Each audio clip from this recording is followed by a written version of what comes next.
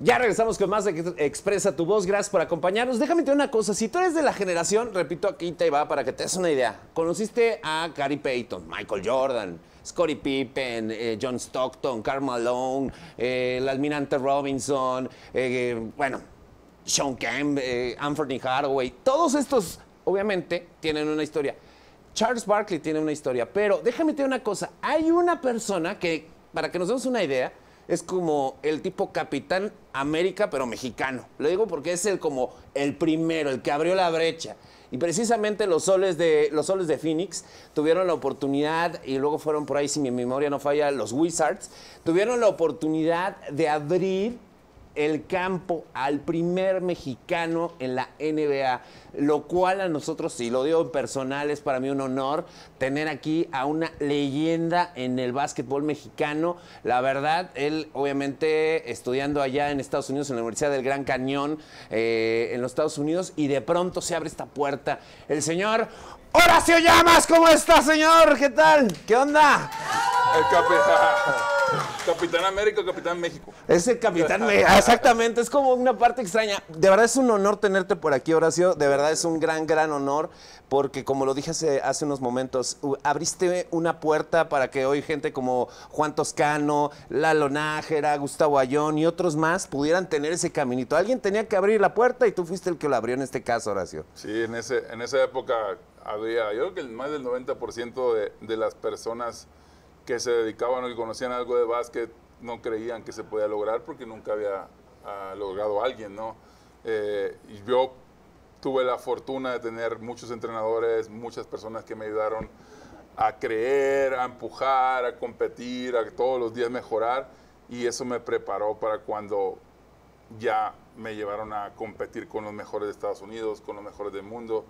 Ya todo ese, ese camino que tuve, que no fueron muchos años, pero fueron muchos años como en horno de microondas, ¿no? Todo muy rápido, muy rápido. Claro. O sea, estamos ya hablando de, por ejemplo, John Paxson, lo mismo decía, eh, jugaste también ahí con el mismo Charles Barkley, jugaste en contra de otros grandes jugadores, grandes leyendas de la, de la NBA, pero ¿en qué momento dijiste, ah, o sea, ya estoy aquí? Fíjate, yo en, en mi casa en el Rosario de Sinaloa, pues teníamos pósters de, basquetbolistas. Cuando ya jugaba, el póster de Jordan clavando el tiro libre sigue, estando en el cuarto de nosotros. Claro.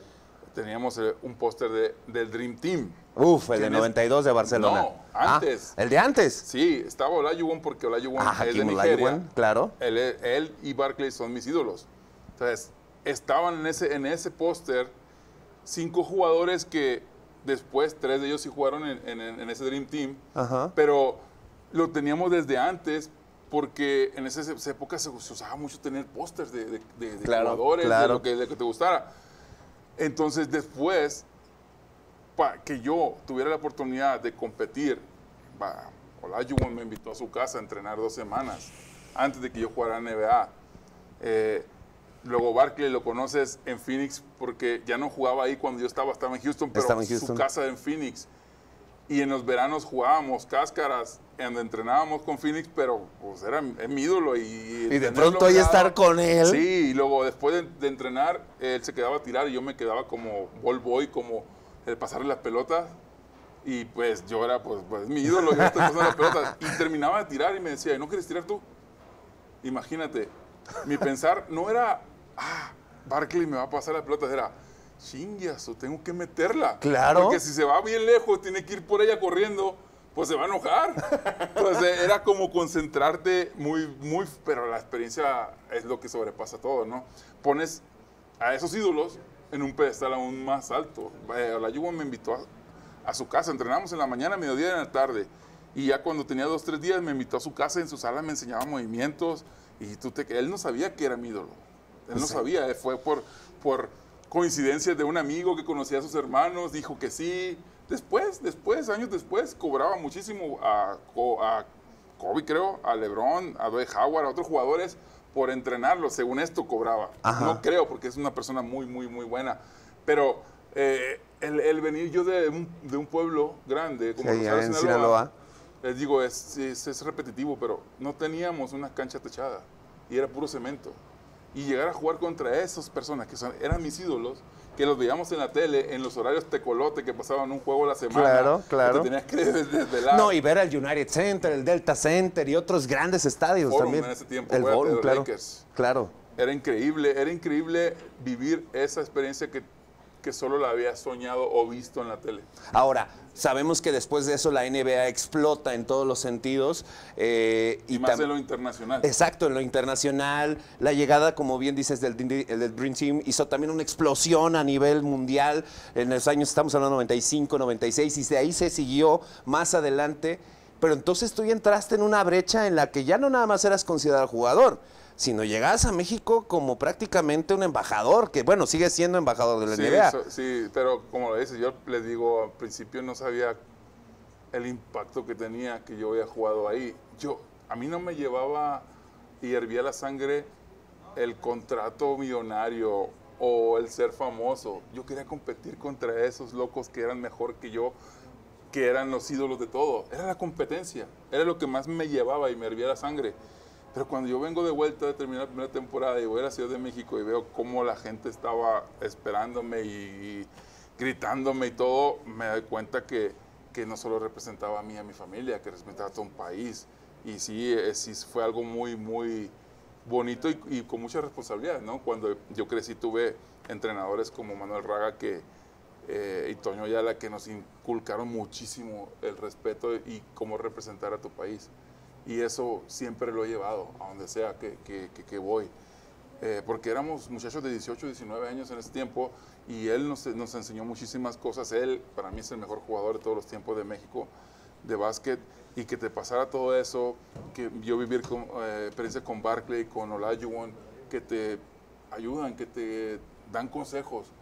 No me quedaba otra como ahora yo hacer lo mismo porque... ¿Qué le dirías tú ahorita a estos chavos? Porque hablábamos de, de- a mí se me incluyen muchos los dos factores, constancia y consistencia, ¿no? O sea, ser constante, ser consistente. Pero hablaban hace poquito fuera del aire acerca de, un- de una, de una metodología muy chistosa, bueno, no chistosa, más bien muy exitosa, que es esta parte de ser los 17 minutos, ¿no? Yo, yo le puse 17. Yo, yo platicaba mucho y les decía 15 minutos a, a- a las niños y a las niñas con que tengo pláticas. Pero como mi número siempre fue el 17, dije, Claro, le voy claro. a sumar dos.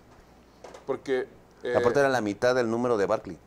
O sea, Sí. 34 el de el Barkley. 3 y el 4 son 7 y era mi número de selección. Bueno, la numerología es muy, muy, muy, muy sacada. Pero, pero bueno, yo le decía que si 17 minutos todos los días nos aplicamos en ayudar a la casa, en los trabajos de la escuela y en el deporte, no va a quedar otra que en un año tengas no sé cuántos, si sacamos la cuenta, cuántos miles de minutos extra más que la persona que no haga eso. En todo. Entonces, y Kobe Bryant, que también lo conocemos, él decía algo parecido, pero era todos los días mejorar en una cosa. Si mejoras en una cosa todos los días, en lo que sea, 365 cosas vas a mejorar en el año. Totalmente. Entonces, no es difícil porque no le aplicas 5 horas diarias a eso. Le aplicas minutos. Lo comparas con cuánto tiempo nos metemos en el celular a ver las redes sociales. Uf, no, ca- cañón, cañón. Entonces dices tú, es verdad. claro, No es mucho y no es pesado. Es solo mentalidad. mentalizarte, escribir qué es lo que tienes que hacer cada día y eso te va a llevar automáticamente a ser mejor. Los niños, las niñas que se enfrentan a alguien de su...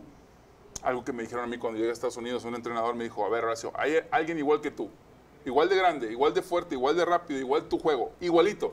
¿Cuál es la diferencia entre tú y ese, ese muchacho? El trabajo extra que le pongas todos los días.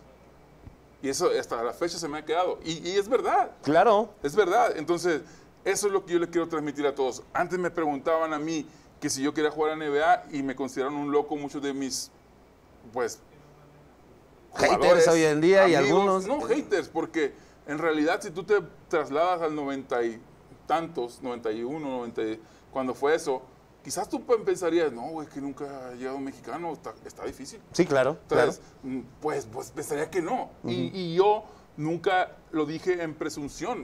Eh, soy un muchacho de, de un rancho. O sea, no voy a presumir algo si realmente yo, yo lo soñé.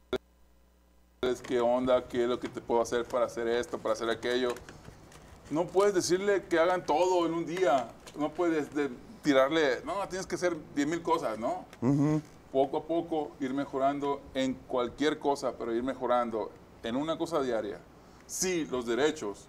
Teníamos siempre problemas con la izquierda, botando, tirándola. Practica con la izquierda. ¿Por qué? En el momento que otro coach diga, no, no, no, el Horacio nomás juega con la derecha, pero no sabe que yo estoy entrenando para jugar con la izquierda. Y me quiere tapar la derecha y me le voy por la izquierda. Y sorpresa, Y en ese momento va a decir, ah, ya no, sí le, sí le echa ganas, sí mejora. Entonces, cositas pequeñas, pero mejoras día con día, al final se van a volver cosas muy grandes. Las cositas pequeñas se van a ir sumando y se va a volver una pirámide muy grande. Increíble, increíble. Horacio, no te quito más el tiempo porque sé que andas pero, pero corriendo para todos lados. Eh, te agradezco mucho que estés aquí con nosotros, que des estos consejos, estos balones que usted está viendo, obviamente, van a tener algún destino para todos los morros que se pongan hábiles y ya les No te lo vayas a clavar tú. No, ni nada, no. Lo único que puedo clavar sería un balón, pero no, tú, La sí. No, pero tú sí me eres un tapón, la neta, ¿eh? La así. Un foul, no, un no, no, no, no, imagínate. Sería, tú sí serías como mi Dikembe Mutombo, una cosa así por el estilo. Pero bueno, muchísimas gracias. Gracias, Horacio, de verdad. Muchas gracias. Gracias a ti, de Gracias verdad. por tenerme aquí. Al contrario, gracias a ti, esta siempre es tu casa. Horacio Llamas con nosotros. Muchísimas gracias, gente. Y vamos con pausa y ahorita regresamos aquí con más de Expresa tu voz.